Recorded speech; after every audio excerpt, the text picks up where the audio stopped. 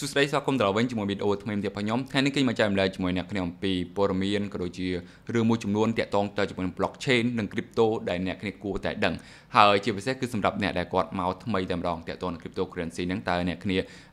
អាចយល់បានបាទយល់ដឹងជាចំណេះដឹងបន្ថែមនៅក្នុងព័ត៌មានមួយនេះតាក់ទងទៅជាមួយនឹង Bitcoin ឬក៏ blockchain ជាដើមតើ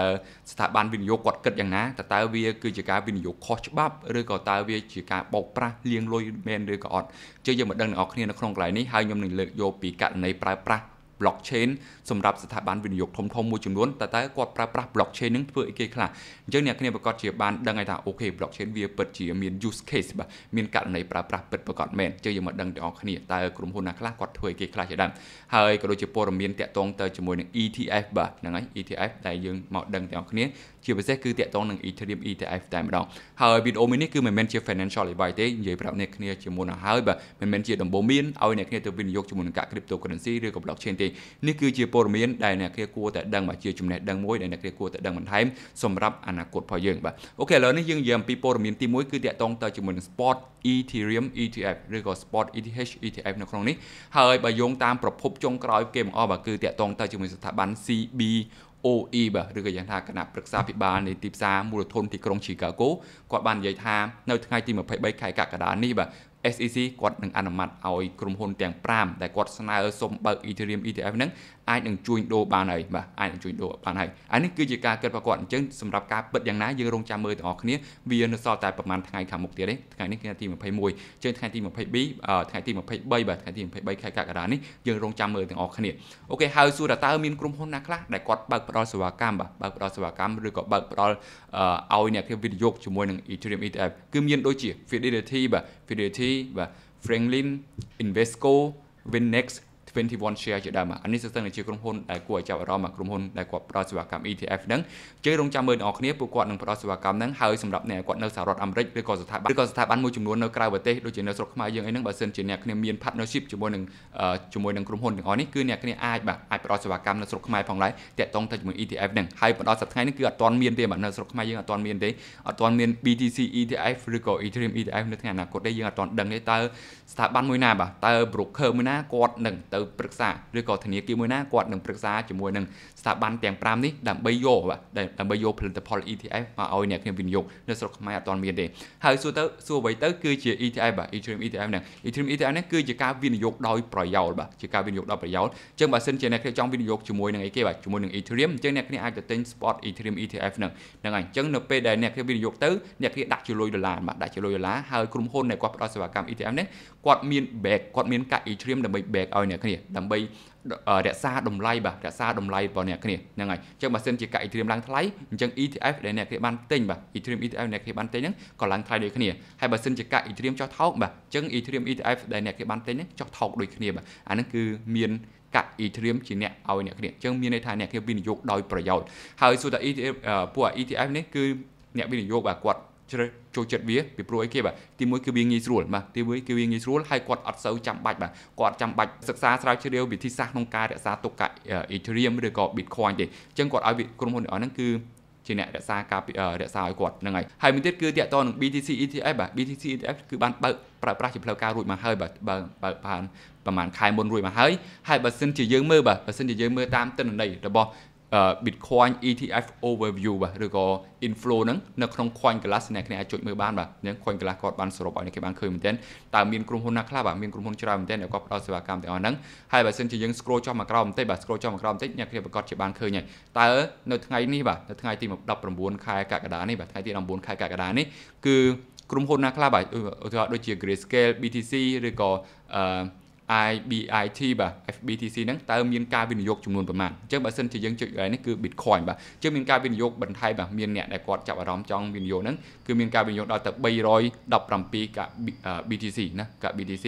ឬក៏បើគិតជាលុយដុល្លារអ្នកគេអាចចុចដុល្លារនេះគឺអ្នកគេបានឃើញ20លានដុល្លារហ្នឹងហើយហើយសម្រាប់ថ្ងៃទី19ខែ7នេះអ្នកគេឲ្យមើលឃើញកន្លែងនេះគឺមានការ ហូរចូលលុយដុល្លារដែលគាត់ហូរចូលទៅទិញ GBTC បាទ Spot BTC ណា Spot BTC ETF ហ្នឹងគឺមានទំហំលុយដល់ទៅ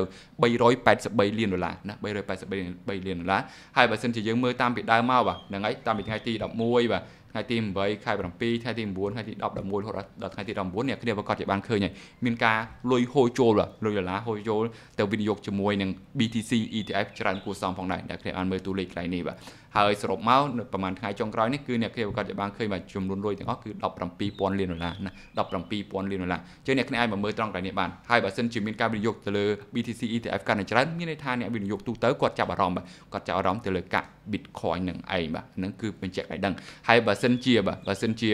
កន្លែងនេះចេញជាក្រហមឬក៏មានគេដកលុយអញ្ចឹងមានន័យថាអ្នកគាត់វិនិយោគហ្នឹងគឺគាត់លេងសូវចាប់អារម្មណ៍ហើយអញ្ចឹងគាត់បានដកលុយចេញពី BTC ETF ហើយអត់សូវខុសគ្នាទេយើងរងចាំមើលទាំងអស់គ្នាតើនៅថ្ងៃទី23ខែកក្កដានេះនឹងមានបាទ Ethereum ETF ឬក៏ក្រាបឲ្យអ្នកគេបានឃើញឬក៏អត់ជិះរងចាំមើលទាំងអស់គ្នាសម្រាប់អ្នកគាត់មានការ Ethereum អ្នកគ្នាក៏អាចរងចាំមើលផងដែរណានៅត្រង់កន្លែងនេះ អូខេឥឡូវនេះយើងមកមើលអំពីស្ថាប័នវិនិយោគណាខ្លះដែលគាត់បានធ្វើគេខ្លះបាទអញ្ចឹងបើសិនជាយើងមើលក្រុមហ៊ុន BlackRock អ្នកគ្នាគាត់បានស្គាល់ក្រុមហ៊ុន BlackRock ហើយក្រុមហ៊ុន BlackRock នេះគឺជាស្ថាប័នវិនិយោគមួយផងដែរបើសិនជាអ្នកគ្នានៅសហរដ្ឋអាមេរិកឬក៏អីហ្នឹងអ្នកគ្នាគាត់ជាបានធ្លាប់ទិញ ETF ឬក៏ឲ្យគាត់បាទឲ្យគាត់ទិញ ETF ឬអីផ្សេងផ្សេងអ្នកគ្នាចង់វិនិយោគបាទជាផ្ដល់សេវាកម្មវិនិយោគឲ្យអ្នកគ្នាហើយសម្រាប់ក្រុម BlackRock នេះក៏គាត់មានបំណងចង់ចូលរួមទៅលើអឺកម្មវិធីប្រកួតប្រជែងមួយរបស់ MakerDAO បាទ MakerDAO ឬក៏កាក់ដៃហ្នឹងបាទកាក់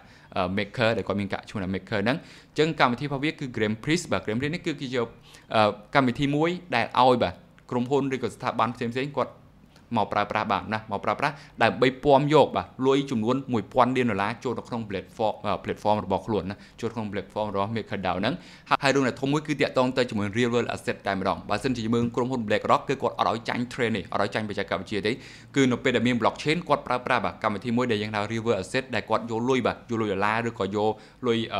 មូលធនបំណុលរបស់សហរដ្ឋអាមេរិកហ្នឹងទៅដាក់នៅក្នុង blockchain ណាទៅដាក់ក្នុង blockchain ហើយនៅពេលដែលវាចូលក្នុង blockchain គឺមានការគេបាទគឺមានការវេងាយស្រួលបាទវាវាឆ្លងប្រទេសឬអីហ្នឹងងាយស្រួលខ្លាំងមែនទែនហើយមួយទៀតគឺតាក់ទងទៅជាមួយនឹងនៅពេលដែលគាត់ប្រើប្រាស់បច្ចេកវិទ្យាដូចគ្នាហើយបើសិនជាធនាគាររបស់យើងគឺប្រើប្រាស់ blockchain ដូចគ្នាបាទអញ្ចឹងអ្នកគ្នាអាច integrate ជាមួយនឹង BlackRock បានយ៉ាងងាយស្រួលបំផុតអញ្ចឹងនៅពេលដែលថ្ងៃអនាគតនៅពេលដែល blockchain ត្រូវបានប្រើប្រាស់ជាទូទៅទៅអញ្ចឹងធនាគាររបស់អ្នកគ្នាប្រកាសជាប្រើប្រាស់ software ឬក៏ system ឬក៏សេវាកម្មរបស់ BlackRock ជាដើមអញ្ចឹងបើសិនជាអ្នកគ្នានៅក្នុងវិស័យធនាគារអ្នកគ្នាក៏គួរតែតាមដានរឿងនេះផងដែរយ៉ាងអន់ណាក៏អ្នកគ្នាគួរតែតាមដានតាក់ទងទៅជាមួយ real asset តាក់ទងនឹងការប្រើប្រាស់ blockchain ដើម្បី adapt តាក់ទងទៅជាមួយនឹងការវេលុយបាទតាក់ទងការវេលុយឆ្លងប្រទេសឬក៏តាក់ទងទៅជាមួយការវិនិយោគទៅលើមូលធនបំណុលរបស់សហរដ្ឋអាមេរិកជាដើមអញ្ចឹងដូចជាដូចជាក្រុមហ៊ុន BlackRock ដែលគាត់មាន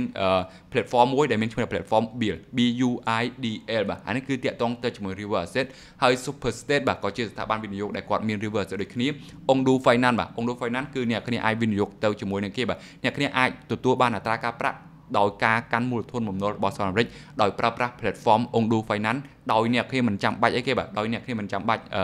ទៅ verify KYC ឬក៏មិនចាំបាច់ពឹងពាក់ធនាគារនៅស្រុកខ្មែរទេក៏អ្នកគ្នាអាចវិនិយោគ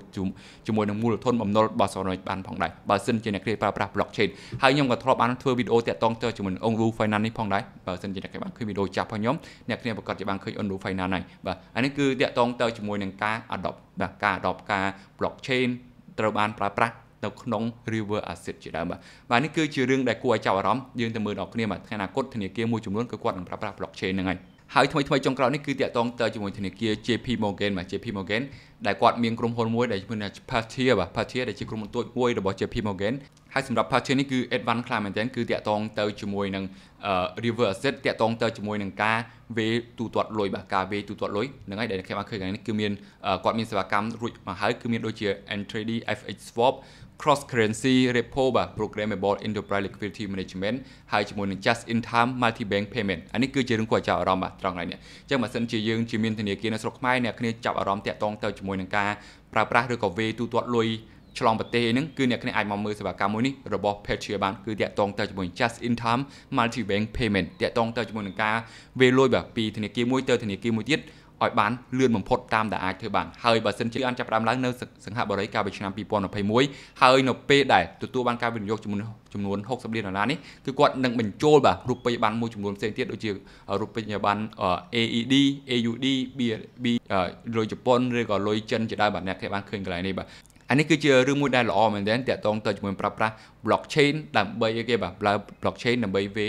កាក់ឬក៏វេលុយបាទឆ្លងប្រទេសជាដើមបាទអានេះគឺប្រើប្រាស់ blockchain ហើយសិស្សតែ blockchain អញ្ចឹងយើងចាំមើលអ្នកគ្នាតើតើ blockchain គឺជាបាទការបោកប្រាស់ឬក៏អត់បើសិនជាអ្នកគ្នាបានឃើញក្រុមហ៊ុនធនាគារឬក៏ស្ថាប័នវិនិយោគធំធំគាត់បានចាប់ផ្ដើមប្រើប្រាស់ blockchain រួចមកហើយបាទអញ្ចឹងយើងមើលមួយទៀតបាទគឺតាក់ទងទៅជាមួយនឹង crypto adoption by institution ចឹងនឹងខ្ញុំមើលខ្ញុំ share បើកឲ្យអ្នកគ្នាមើលក្នុង Facebook មួយនេះបាទជាងអ្នកគ្នាប្រកាសជាបានឃើញបាទនេះស្ថិតជាស្ថាប័នវិនិយោគក៏ដូចជាស្ថាប័នហិរញ្ញវត្ថុបាទស្ថាប័នហិរញ្ញវត្ថុតើគាត់បានបាទកើគាត់បានប្រើប្រាស់ industry ណាខ្លះហើយឧទាហរណ៍ដូចជា Bank of America គាត់បានប្រើប្រាស់ crypto trading and custody custody នេះគឺជាការរក្សាកាក់ crypto trading គឺតាក់ទងទៅជាមួយនឹងការជួញដូរកាក់បាទទាំង future បាទអានេះគឺសម្រាប់ crypto trading នេះគឺរាប់បញ្ចូលទាំង crypto spot future ជាមួយនឹង derivative product តាក់ទងទាំងអស់អញ្ចឹងសម្បីតែ Bank America ក៏គាត់បានដាក់មានសេវាកម្មមួយបាទមានសេវាកម្មមួយគឺតាក់ទងទៅជាមួយ crypto trading ជាមួយនឹង custody ផងដែរ BlackRock ក៏គាត់មានហើយផងដែរបាទតាក់ទង private crypto fund បាទ crypto ETP ជាមួយ tokenization បាទ tokenization កាយដូចជាខ្ញុំបានបង្ហាញអ្នកគ្នាតាក់ទង real asset ហ្នឹងគឺ tokenization ហើយហើយសម្រាប់អានេះគឺសឹងតែជាក្រុមហ៊ុនឬក៏ធនាគារធំធំផ្សេងទៀតដែលអ្នកគ្នាបានឃើញបាទសម្បីតែ Visa ក៏គាត់បានបញ្ចូលដែរ PayPal ក៏មានដែរបាទ Morgan Stanley ក៏មានដែរ Mastercard បាទ JP Morgan Chase មានគឺគ្រប់បាទគ្រប់សេវាកម្មទាំងអស់គាត់មានគ្រប់សេវាកម្មទាំងអស់សម្រាប់ JP Morgan ហើយ Fidelity ក៏គាត់មានច្រើនគួរសមបាទ Franklin Goldman Sachs ជាដើមបាទនេះគឺស្ថិតជាស្ថាប័ននឹងការអាប់ដេតចុងក្រោយបាទតាក់ទងទៅជាមួយនឹងការយក cryptocurrency យក blockchain មកប្រើប្រាស់បាទមកប្រើប្រាស់ក្នុងការរស់នៅប្រចាំថ្ងៃជាដើមបាទអូខេវីដេអូនេះគឺអត់មានច្រើនទេមានតែប៉ុណ្្នឹងឯងតាក់ទងទៅជាមួយនឹង cryptocurrency ក៏ដូចជា blockchain តើតើវាគឺជាការ scam ឬក៏អត់ហ្នឹងបាទគឺយើងត្រូវមើលកន្លែងទាំងអស់ហ្នឹងហើយតាមដានព័ត៌មានរបស់វាជារឿយៗ BlackRock, Grayscale ឬក៏ដូចជាធនាគារក៏ដូចជាស្ថាប័នវិនិយោគជាដើមតែគាត់ដើរដល់ណាហើយបាទជឿរងចាំមើលទាំងអស់គ្នាទៀតហើយនៅថ្ងៃអនាគតនៅស្រុកខ្មែរយើងក៏អាចនឹងមានធនាគារឬក៏អីហ្នឹងគាត់ប្រើប្រាស់ blockchain ដើម្បី advance ធ្វើឲ្យអ្នកគ្នាវាលុយឆ្លងប្រទេសកាន់តែងាយស្រួលជាដើមបាទអូខេវីដេអូនេះគឺមកដល់ទីបញ្ចប់ហើយយើងនឹងជួបគ្នានៅវីដេអូដល់ក្រោយៗទៀតបាទបាយបាយ